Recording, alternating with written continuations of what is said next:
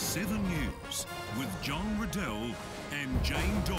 Today marks the final day of the 2014 Royal Adelaide Show. Oh, and what a terrific 10 days it's been. It has, but for more details, let's cross now to our amateur correspondent in the 7 News experience, where anyone can become a 7 News reader at the show and share it with their friends. Jane, it's the last day of the show, Adelaide show today and the last opportunity to embrace the show life.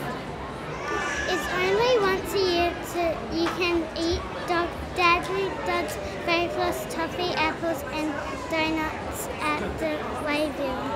And if you like to try something different, the truck stop behind the show bag hall is provided to be here. Watch 7 News nightly at 6.